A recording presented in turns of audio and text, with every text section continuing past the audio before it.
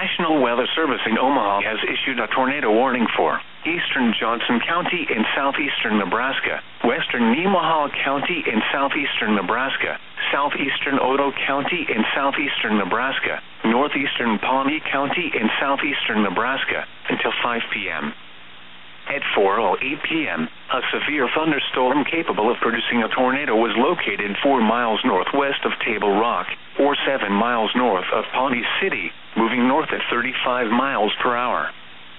Expected hazards include tornado and golf ball size hail. This is a radar indicated threat rotation. Impact. Flying debris will be dangerous to those caught without shelter. Mobile homes will be damaged or destroyed. Damage to roofs, windows, and vehicles will occur. Tree damage is likely. This dangerous storm will be near Elk Creek around 4:15 p.m. Other locations in the path of this tornadic thunderstorm include Johnson, Talmage, and Lorton. Take cover now. Move to a basement or an interior room on the lowest floor of a sturdy building. Avoid windows.